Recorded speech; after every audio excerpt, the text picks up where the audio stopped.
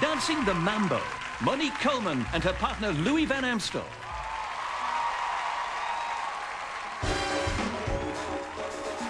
Mucho gusto!